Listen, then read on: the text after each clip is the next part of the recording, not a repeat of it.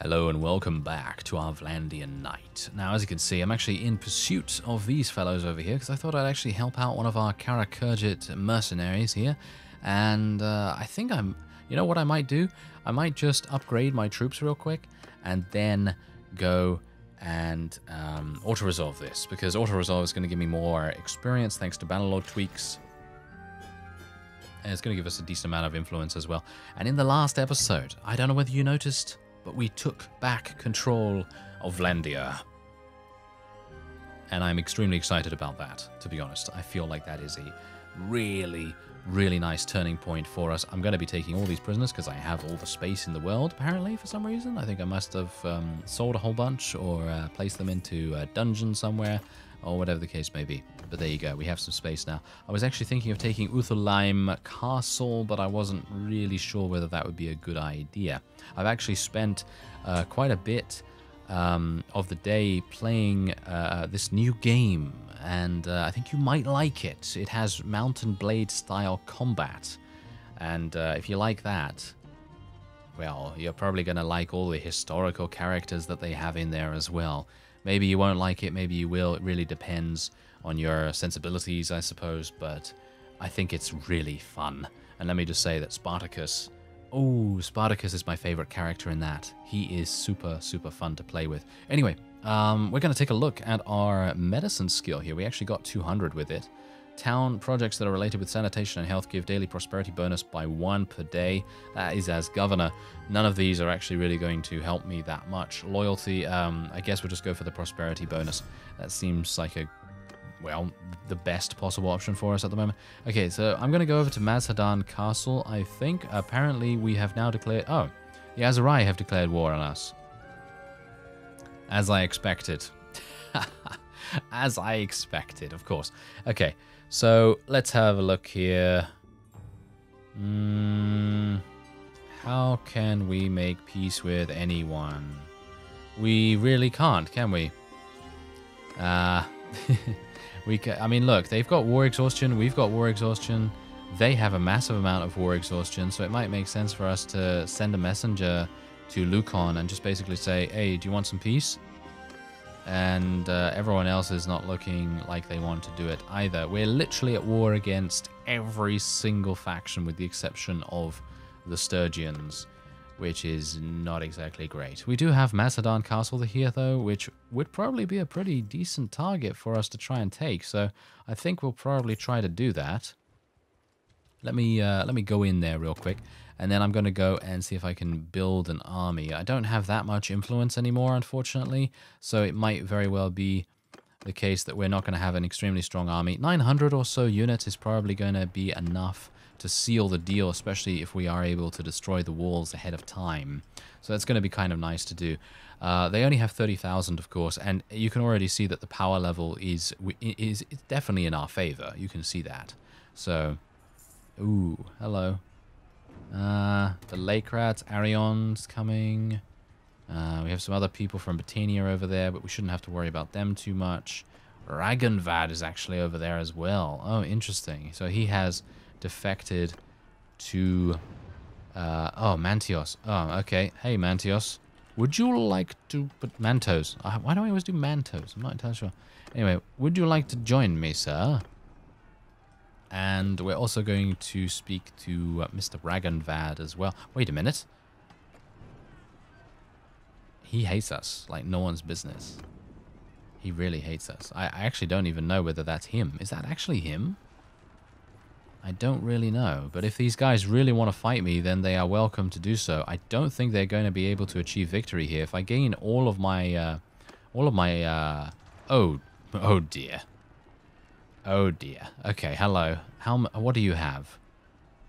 He has mostly recruits and low tier units. Uh, these these guys are not looking are not looking that good. Um, what's Mantios got? He's looking okay. All right. Uh, they have wow. They have thirteen hundred. Wow, that's actually pretty crazy. Okay, so thirteen hundred. What's our combat strength like? It seems okay. So let's actually go in here. We we've only got four people. We only have four vassals. So it might very well... Oh, look at this. We actually have the advantage. we actually have the advantage in terms of combat strength. Can you believe it? With this amount of troops? Wow. Uh, this is actually a really nice time of day, by the way, to fight because the battlefield is illuminated in such a way so that it's really crisp and clear, if you know what I mean. It kind of has that uh, early morning, like really early morning sort of spring day feeling to it, if you know what I mean. Anyway, uh, let's go for a... Now, I do not want to charge you, imbeciles. Thank you very much. I would like to put you in shield wall, thanks.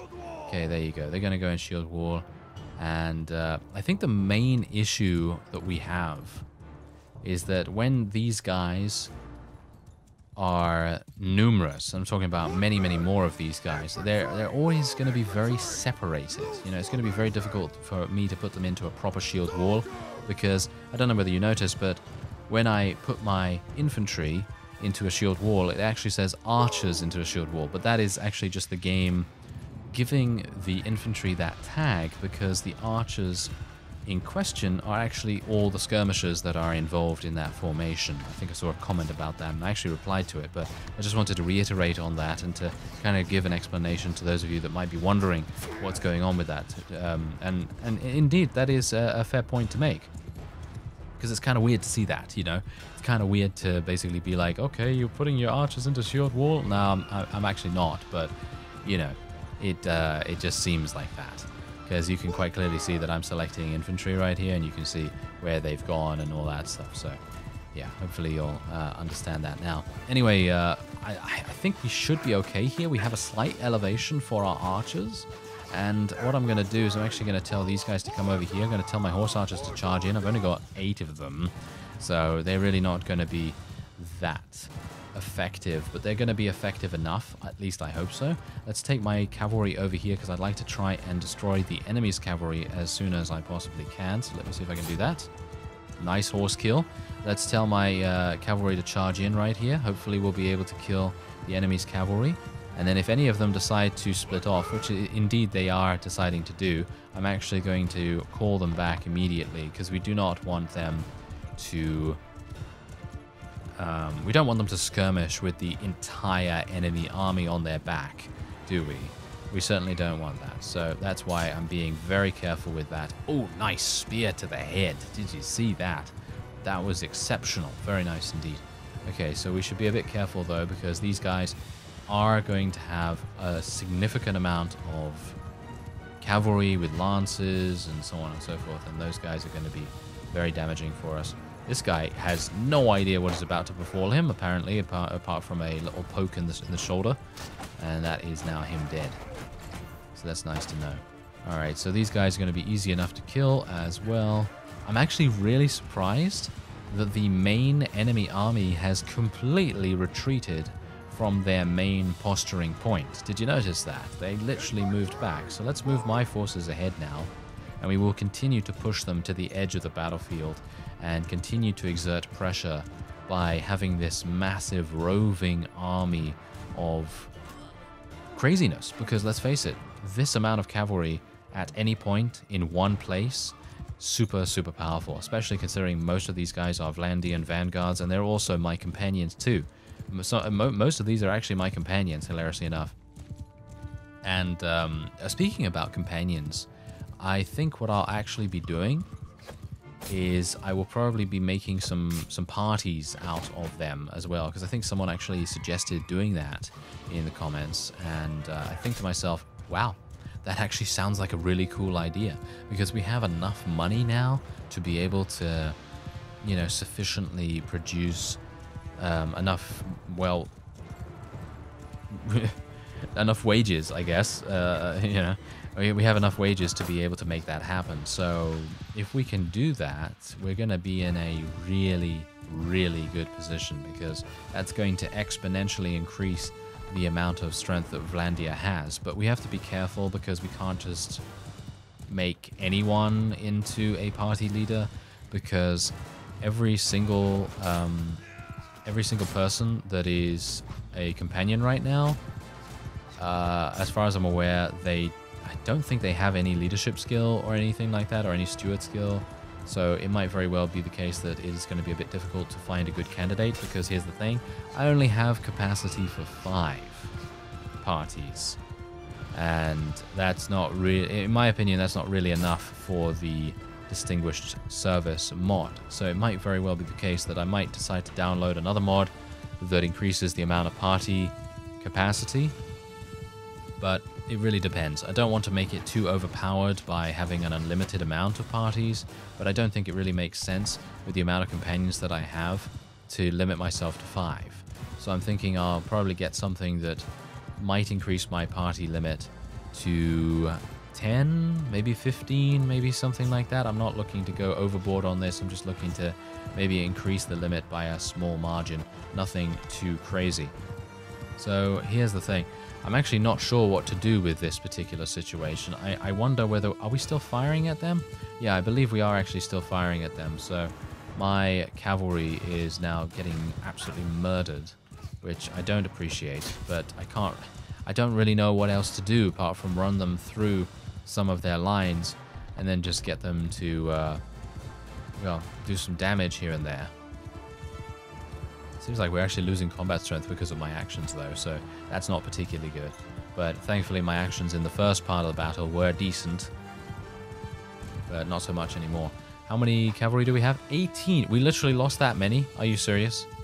We literally lost what was it? 70? We lost 70 units just from me running around those guys. Whoa, okay, that's that's actually some pretty significant losses right there. Okay. Note to self, do not do that ever again. Do not have people follow you and not run through these through these enemies ever. Okay, yes, good idea. Oh well, never mind. I guess we could just wait and you know, wait for our weakening of the opponent by our archers and then we can uh, move ourselves in here. Let's move. Let's move a little bit forward, shall we? I'm actually not sure what the enemy is doing, to be honest, because they're not really doing anything.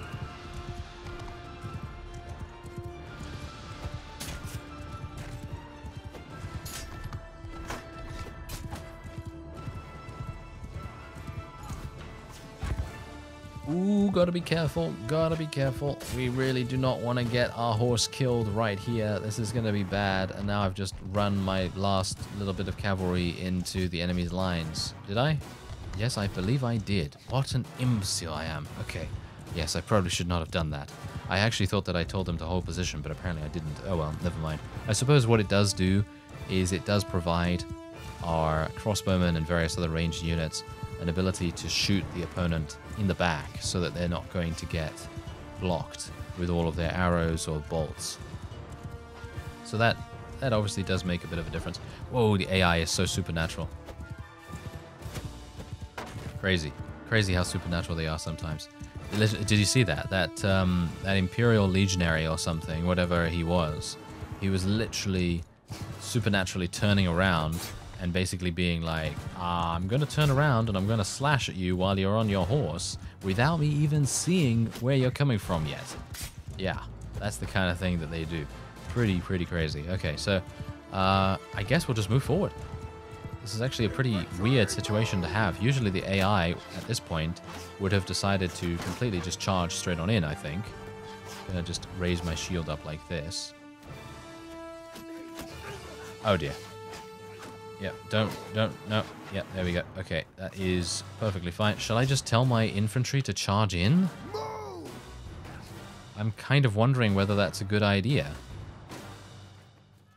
Maybe? Uh, I don't really want to do that. I'm going to switch to my one-handed sword for the moment. And we'll see how this goes. I have, I have a bad feeling about this, to be honest. Okay, come on. Murder them. Murder them all. Oh, dear. A lot of people right here.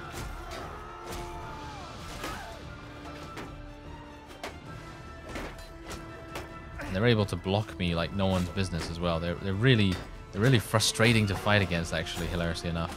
Okay, so let's tell my uh, cavalry to charge in, tell my horse archers to charge in, tell my infantry to charge in, tell my archers to charge in, tell everyone to charge in, and uh, we'll basically see what happens here.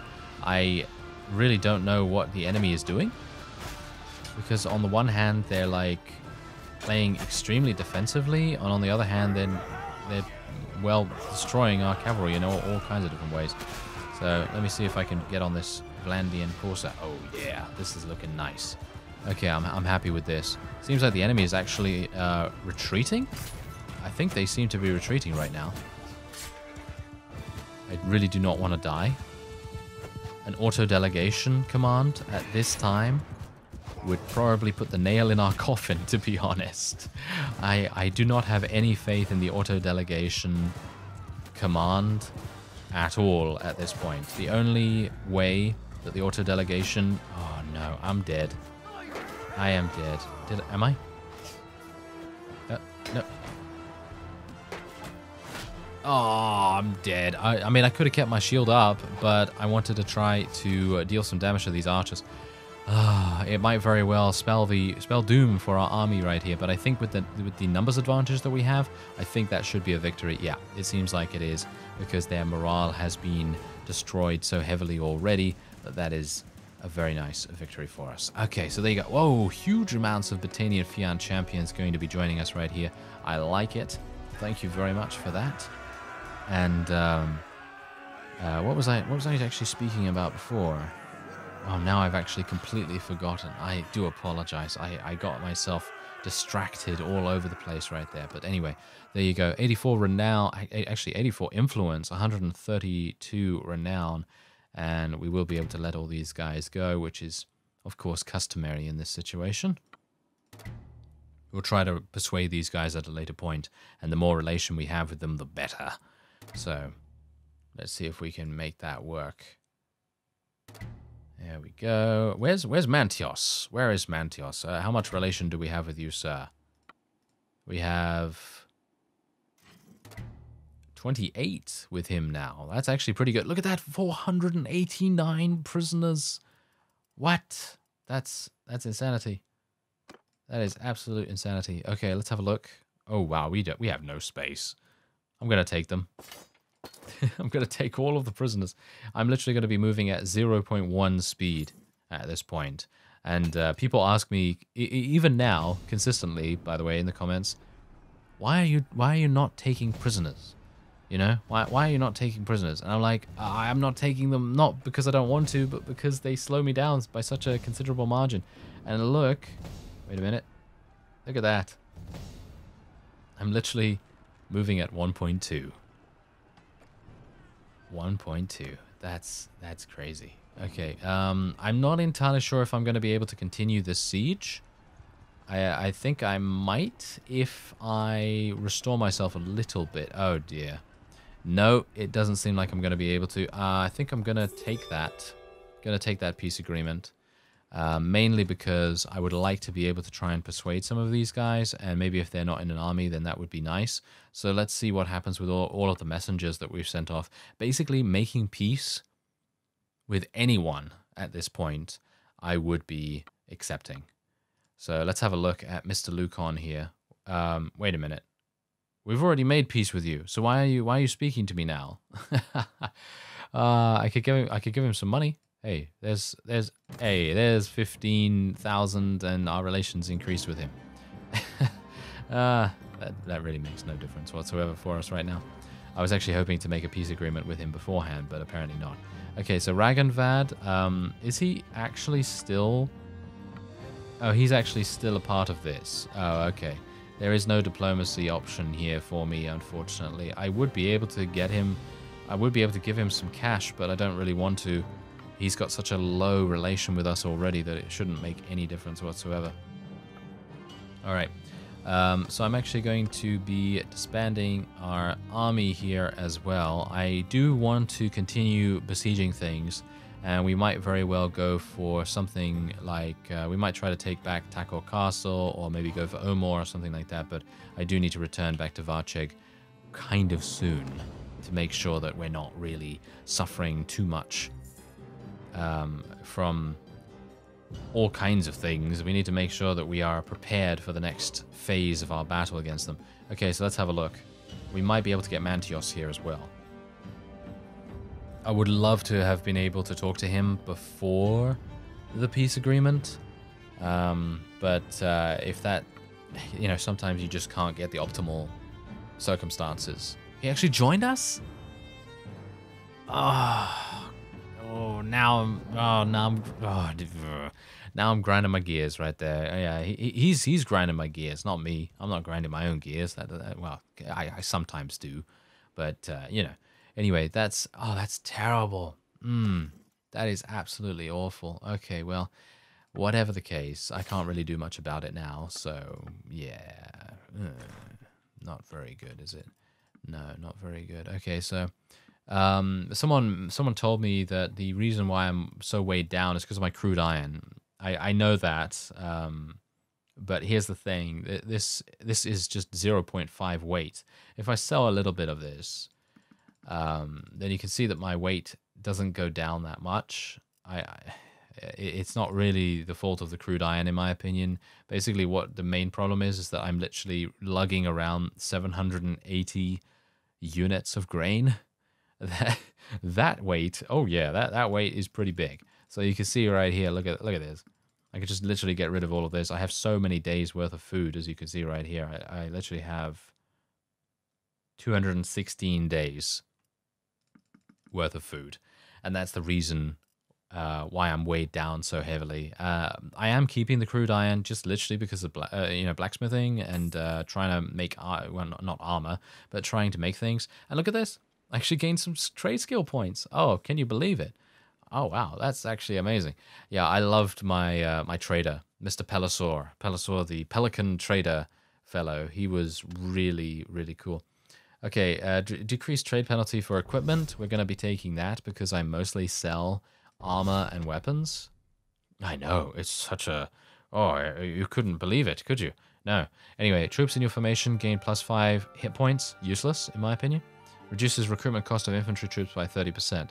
That is, in my opinion, also kind of useless because we're not actually recruiting people that much anymore. We are more converting prisoners into units and then utilizing them as much as we possibly can. So I guess what I will do instead is take drills, which gives all parties uh, actually all troops in the party gain additional 1 XP per day, which in my opinion is still not that great, but it is better than nothing, I suppose. It is better than nothing. Okay, so if Thorgood is here, then I will do a little bit of smithing, but if he isn't, then I will not. He is not. Okay, well, that that didn't really help, did it? Uh, yeah, okay, well, I, I, I, guess what I could do is I could do a little bit of, uh, a little bit of smelting. Let's see if we have any uh, new parts available here. We don't? Are you serious? We don't have any new parts? So we've unlocked everything that we can from this? Okay, well that's kind of interesting. Okay, well let's just uh, smelt a little bit then with Bruce. Because I think he does have a little bit of a, a focus in uh, smithing now. So we could get him a little bit. Just a little. There we go, there's 75 for him. And now let me just see if I can maybe find some items that give me three. These Highland Spite clubs are crazy. Look at that. They give me three hardwood every single time I do that. That is amazing. And we can then just switch to someone else. I mean, so many people. We have so many people in our in our army right now that I can literally just go crazy on this. Oh, I don't know why I don't know why we're doing some random item right now, but we're still gaining three hardwood, which is exactly what we want to do. So we're just going to continue onward here. And then we're just going to do this with this guy. There we go.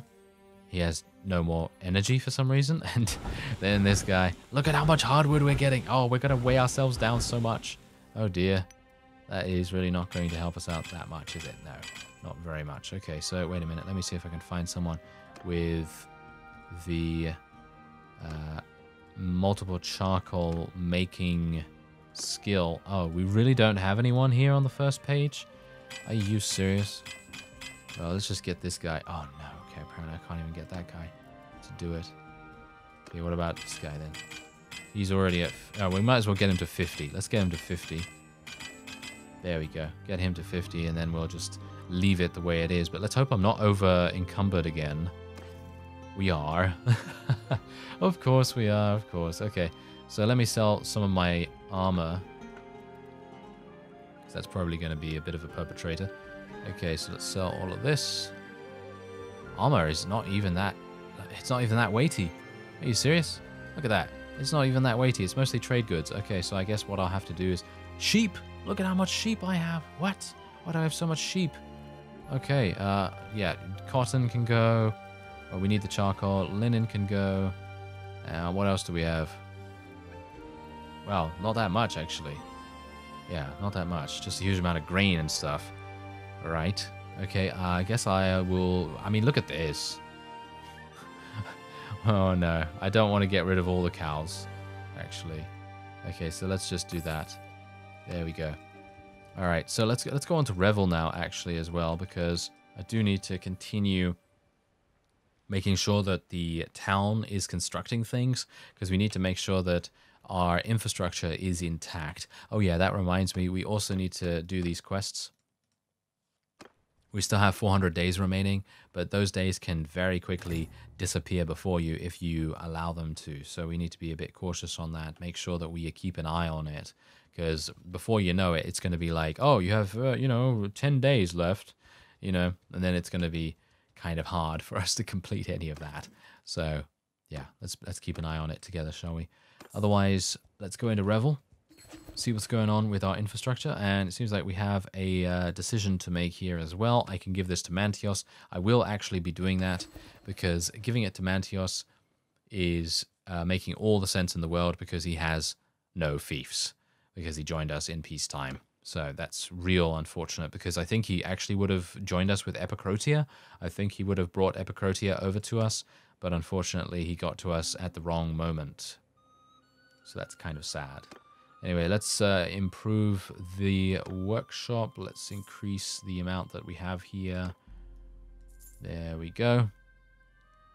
And let's get a forum. Let's get some aqueducts. We just want to make sure that there are active projects always being done here. That's the main thing. And let me see what else we want to go for here. So the capacity is also exceeded still. So I guess I will continue to sell some stuff here as well.